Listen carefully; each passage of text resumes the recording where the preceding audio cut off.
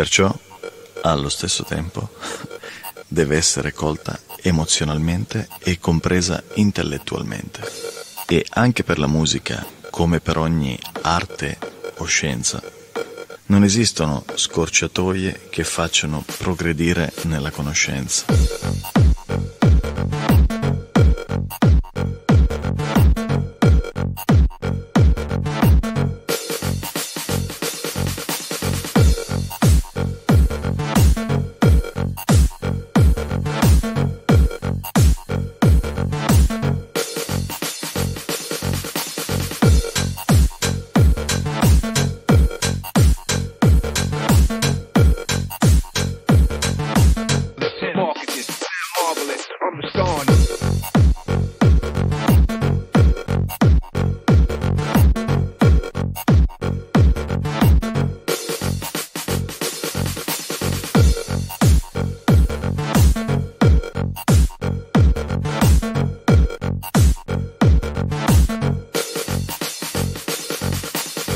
L'amatore che si diletta ascoltando la musica senza capirne il linguaggio è come ho letto male e quindi non...